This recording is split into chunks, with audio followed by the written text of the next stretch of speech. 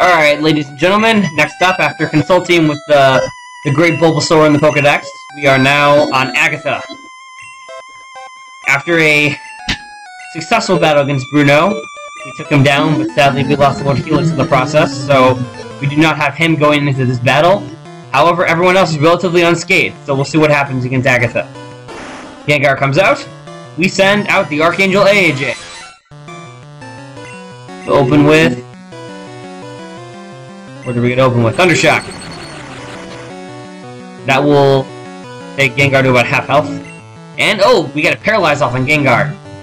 However, his Hypnosis does not affect AJ. Can someone explain that logic to me? Okay, whatever. Moving on. Agatha sends Golbat out. We're going to use a Drill Peck. That is going to successfully take down Golbat and gain some experience, and now Haunter comes out. We're going to use another Drill Peck. And Haunter goes down. Wow. The Archangel AJ is doing work today. Next, Arbok comes out. And another Drill Peck. Wow.